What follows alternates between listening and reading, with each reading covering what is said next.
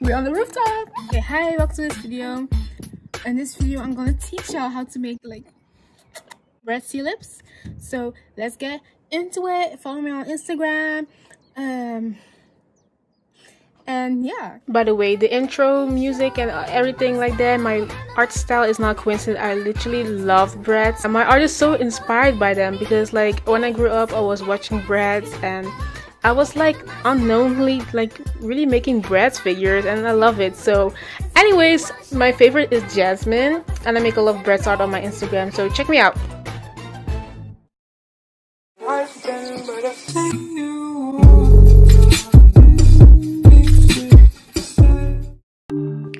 First off, I actually make a circle and this is going to be like the full like the fullest of your lips and Bratz's lips are like really full the way how I draw lips. I make like a cross or yeah like a you know a plus sign like that. On the horizontal line I also make like the ends of the lips you know? That's how I uh, make sure if the character is smiling or if it's not smiling. When it goes up like this, most of the time the character looks neutral or is smiling just a little bit. But like I wanted to make like neutral lips, like she's not really in, you know, she's not smiling or sad. What helps with the lines is if you like rotate your canvas and like imagine you're making an egg, you know? When you put it like this, it's like you're making an egg. So make like the bottom of the lips, make it like half round as an egg. It helps though. you should make a heart of a lip most of the time so literally draw a heart if you have problems with uh, drawing the bottom of the lip. I didn't learn this i just made it up. But it really helps with the bottom of the lips uh, the top of the lips because you know full lips full Bratz lip have have like that strong arch. But like sometimes i don't really do it so strong. I make it like more of a soft lip with those you know, cute little hearts. And in the middle of it, I also draw a circle, of course, for like that neutral Debby Ryan face. if you have TikTok, you know. I open a new layer to start coloring. I don't have a special pencil for coloring, just a line art pencil. And I just colored the lips in.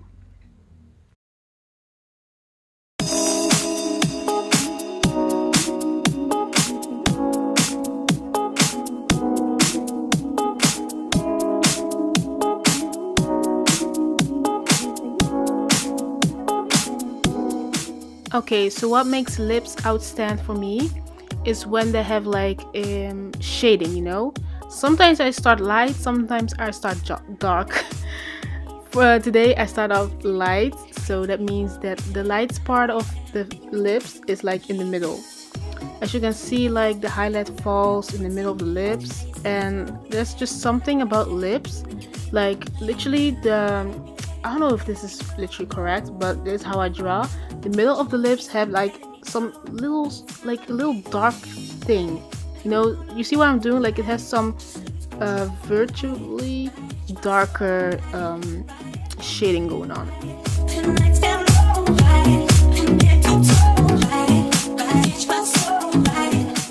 The middle of the lips I make it darker and the ends of the lips. I also I try very hard to make the ends of the lip very dark because I like the ombre effect of that. It makes the lip even fuller if you make the ends of the lip like very dark. You know, there's shadow over there. Okay, not too too dark, or it's whatever you like.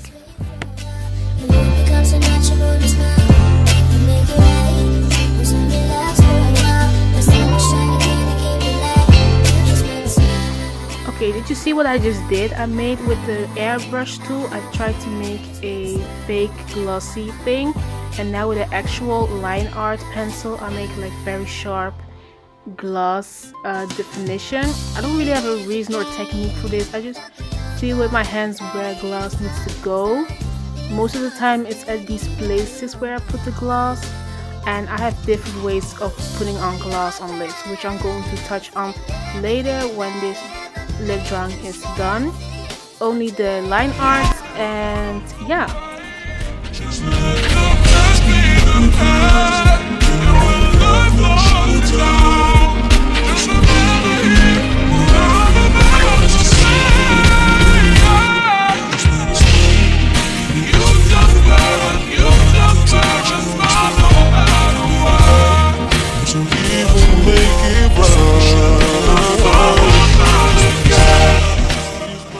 There's just some extra thing that I do and discovered. If you have the sides of the lips, because of the fullness of the lips, is like just too much to make these, you know, visual expressions. So I learned to make little stripes. If it goes up, the character is happy, and if it goes down, the character is like, you know, mm, kind of, you know, confused or annoyed. And when it's angry or happy, you know, that's just regular. So here is what I show the different types of gloss I make. So at the beginning I said I had like, I think like this one is the most realistic one that I have. Um, for on digital, you know, when I draw tradi traditional, I also have a very very hyper realistic way of drawing lips, but I'm not really into hyper realism anymore. So I'm just gonna show like more in a cartoony way. My whole art style in the majority is more of a cartoony way. I should have mentioned that, but I think y'all noticed that.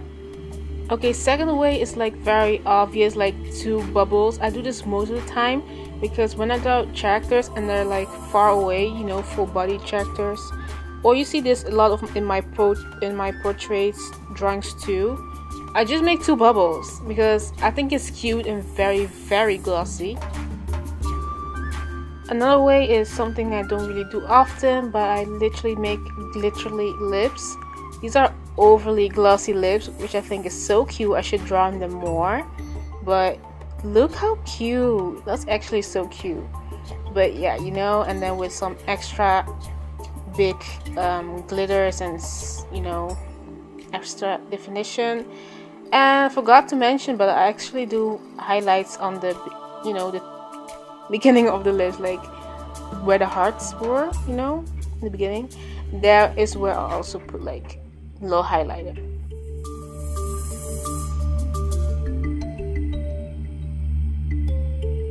Let you to know that you like my videos by liking it, by commenting it, by watching it the whole through. And yeah, thank you, love you. So traditionally, yeah, that's just very obvious. Um, it's like pretty the same, but the way it's just with pencils is just different. Pen, yeah, I actually use uh, markers more than pencils because I think like markers are just very more handy for coloring.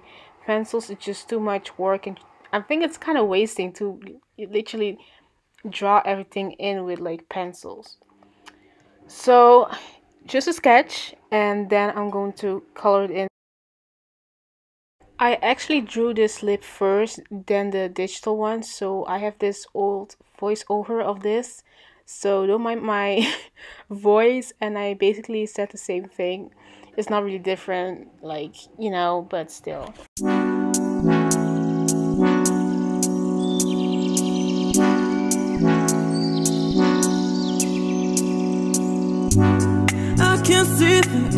issue. I don't really have a rule for where I shadow most. I just feel as if like at the moment where I feel like I want to shadow more.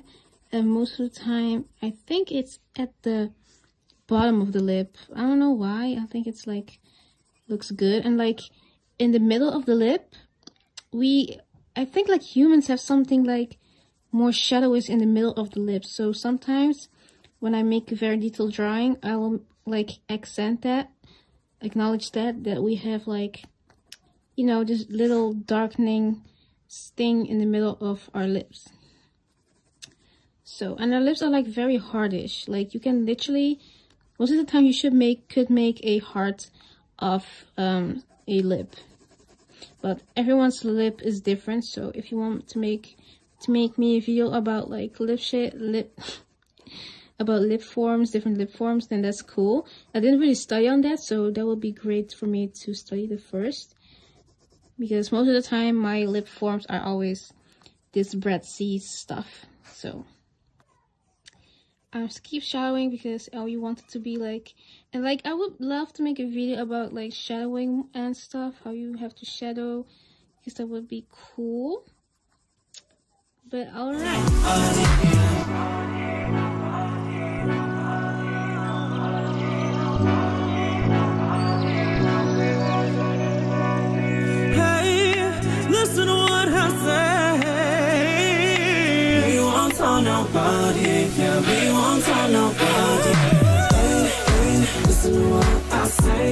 Style is getting more cartoonish again and I don't mind. It just changes every time. So um you see that it's not perfect and I don't really care. That's what I always do. Um sometimes I do just a little shading here but most of the time I don't. Sometimes I do I feel like doing this. This is the way I do gloss just like very circular motions like I feel like putting tips on it. You know and sometimes I even do this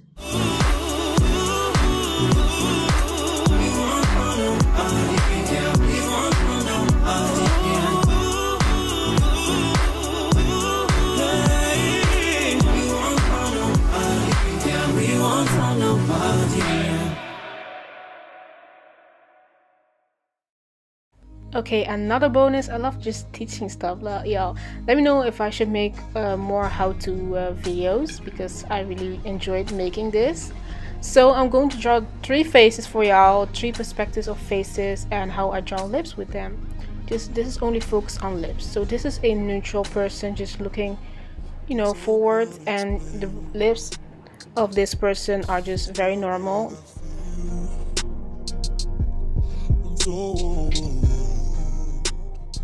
Second person is moving, you know, a little bit on the other side with the face. I kind of have difficulties making lips with this, but just needs practice, you know. you know. What is you know? I mean, I meant y'all. I need to practice on this uh, voice memo thing. Oh, I cannot. But anyways, we're moving on. It's kind of the same, but you really have to um, make sure that like the sides of the lips are like making sense. But still these are lips I make on this side of the face. And here I'm drawing a person that smiles. I use this lip reference a lot from Totally Spies. I love how when they smile that their lips are just